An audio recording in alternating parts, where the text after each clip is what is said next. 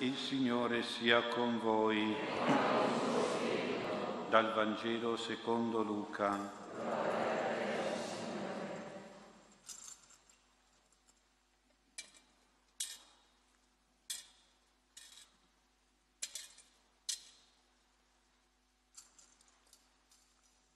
Dopo tre giorni i genitori trovarono Gesù nel Tempio seduto in mezzo ai dottori, mentre li ascoltava ed interrogava e tutti quelli che l'udivano erano pieni di stupore per la sua intelligenza e le sue risposte. Al vederlo restarono stupiti e sua madre gli disse, Figlio, perché ci hai fatto così? Ecco, tuo padre e io, angosciati, ti cercavamo. Ed egli rispose, Perché mi cercavate? Non sapevate che devo occuparmi delle cose del Padre mio? Ma essi non compresero le sue parole. Partì dunque con loro, tornò a Nazareth e stava loro sottomesso. Sua madre serbava tutte queste cose nel suo cuore. Parola del Signore.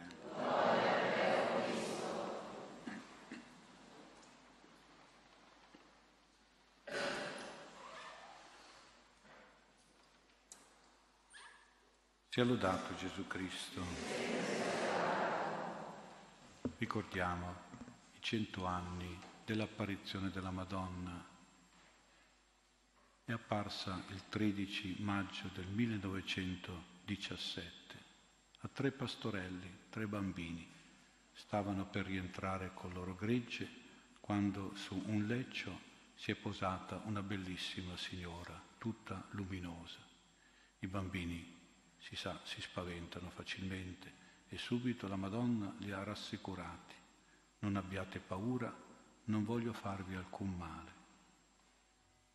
E Lucia subito, quella che aveva la lingua più sciolta, cosa volete da me? ha, rispo- ha chiesto. E lei ha risposto, sono venuta a chiedervi di venire qui per sei mesi consecutivi, il giorno 13. Ecco, penso che come ai tre pastorelli, anche noi, la Madonna ci chiede questo, nel senso forse più generale di essere fedeli all'amore per lei. Noi dobbiamo promettere questa fedeltà di amore filiale alla Madonna a questi appuntamenti che lei ci dà.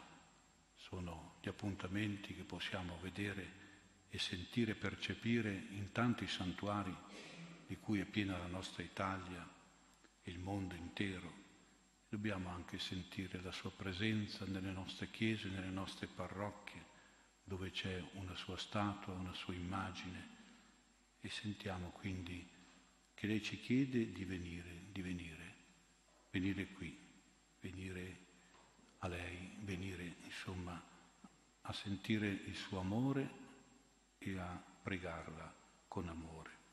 Ecco dunque a Fatima la Madonna si è presentata, si è preannunciata con due lampi, così dice Lucia, tanto che loro hanno pensato che si avvicinava il temporale, ecco perché stavano radunando le pecore per tornare a casa in fretta. E poi la Madonna ha detto che è scesa di essere del cielo. Di dove siete? ha chiesto Lucia. Sono del cielo. Ecco dunque il cielo è la nostra origine, la nostra natura, l'anima nostra viene dal cielo e deve tornare al cielo. E San Paolo diceva, pensate alle cose del cielo, non a quelle della terra. Dobbiamo pensare al Signore Gesù risorto, alla Madonna assunta, alla Madonna apparsa. E qui il cielo nella antichità è sempre stato visto come il luogo dove si scaricavano i fulmini di Dio, ricordiamo i fulmini di Zeus, di Giove nel paganesimo, ma anche le manifestazioni molto forti dell'Antico Testamento. A Fatima invece il cielo non ha mandato fulmini a preannunciare la Madonna, ma dei lampi, due lampi. Il lampo è innocuo, il lampo è bello, è gioioso, guizza dall'Oriente all'Occidente è come un'indicazione di una strada, la via per arrivare al cielo, ecco il lampo. Infatti tutto il primo dialogo tra Lucia e la Madonna è sul tema del cielo, sull'andare in cielo, il luogo beato e bello della Madonna. E la, la Lucia dice andrò anch'io in cielo? Ha detto viene dal cielo. Sì, ci andrai, ha risposto la Madonna. E Giacinta, anche lei, e Francesco, anche lui, ma dovrà recitare molti rosari. Ecco, in Giacinta noi vediamo il cielo come meta dono della Madonna per i meriti della sua sofferenza. In Francesco noi vediamo il cielo come meta raggiunta con l'impegno, l'impegno soprattutto della recita del Santo Rosario. Il Rosario è una corda che ci tira su in cielo, è la corda che ci salva e ci porta in cielo, è la corda anche che tira giù dal cielo, tira giù tante grazie e tante benedizioni della Madonna. Ricordiamo questo esempio.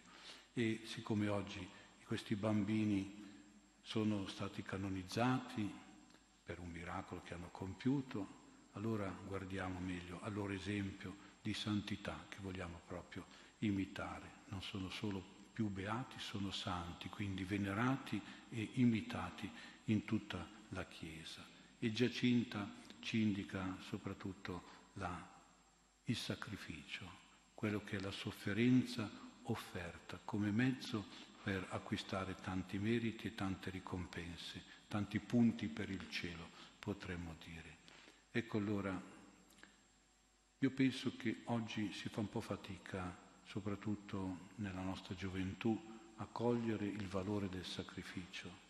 Gente, la gioventù non vuole più sacrifici, non vuole fare servizio, non vuole fare fatica, non vuole rinunciare a niente non vuole impegnarsi in un lavoro di volontariato per il Signore o per gli altri. C'è questo atteggiamento un po' contrario a questo spirito di sacrificio, di generosità, di donazione, di servizio.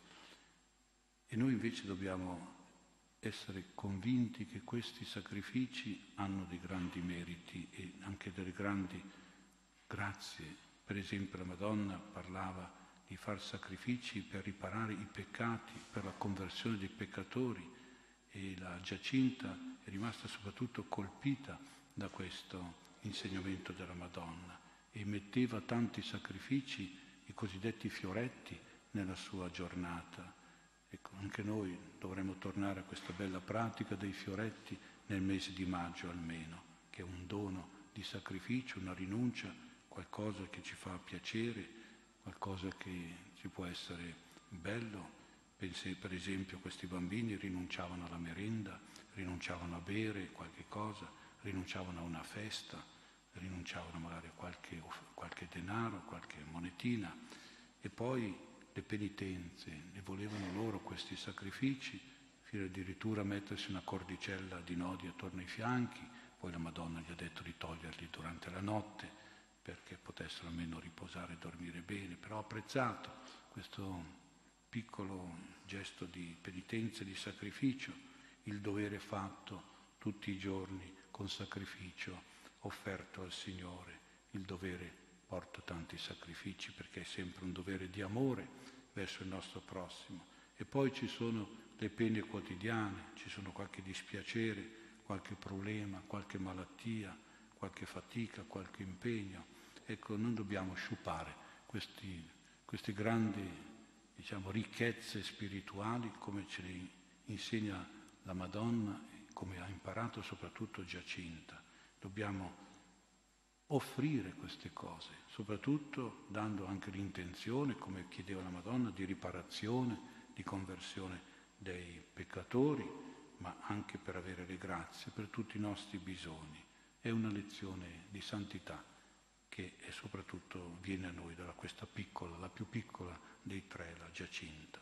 E poi abbiamo anche Francesco. Francesco ci indica la preghiera come una moneta forte per comprare, per ottenere le grazie del Signore e la prima grazia è quella di andare in cielo, dovrà dire tanti rosari e Francesco ha preso sul serio questa indicazione della Madonna. Ecco anche qui dobbiamo riconoscere che un po' siamo un po' lontani da questo spirito di preghiera, di tanta preghiera. Ecco, e soprattutto i nostri ragazzi, i nostri giovani, si dice che non si ha più tempo per la preghiera. Per tante altre cose tanto tempo, ma per la preghiera, per il rosario, uno non ha tempo. Eh? E anche un po' i bambini a volte riempiamo il loro tempo di tante attività, sport, hobby, corsi, impegni e per la preghiera non c'è più tempo, neanche più ci si ricorda, resta all'ultimo e quando poi si è troppo stanchi e indisposti la preghiera viene accantonata. Ecco, vediamo che poi cresce l'indifferenza, l'apatia religiosa, la pigrizia, indisponibilità, quasi un'allergia alla vita spirituale, alla preghiera, anche nei nostri bambini, nei nostri piccoli. Ecco, io penso che Francesco davvero ci può insegnare a dire tanta preghiera, a fare tanta preghiera. Ecco, diceva lui quando ha saputo, perché non sentiva la voce della Madonna Francesco, quando però gli altri gli hanno detto che sarebbe andato in cielo ma che avrebbe dovuto dire tanti rosari, lui ha risposto, oh Madonna mia, rosari ne dico quanti ne volete. E poi ha preso proprio l'abitudine di allontanarsi in disparte e diceva il rosario, aveva in mano la sua corona e quando lo chiamavano per giocare alzava la mano e faceva vedere il rosario. Ecco, il dopo, dopo. E poi quel dopo lì non arrivava mai perché lui continuava a dire i rosari. Ecco, bene, penso che la Madonna, davvero che la Madonna del Rosario ci fa vedere questo piccolo Francesco nella sua santità di preghiera del Rosario. E allora vediamo proprio di imitarlo ormai è un piccolo santo che non possiamo dimenticare trascurare perché ce l'ha offerta la Madonna.